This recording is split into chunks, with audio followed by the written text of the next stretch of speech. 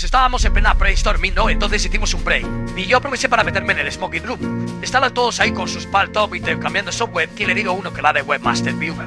Te digo, vamos a ver. Digo, ¿a que no tienes un spyware que te detecte en Dark Windows y en Comet Push? Listo, que va de listo. Dijo, lo siento, no sé inglés. Le minté a otro.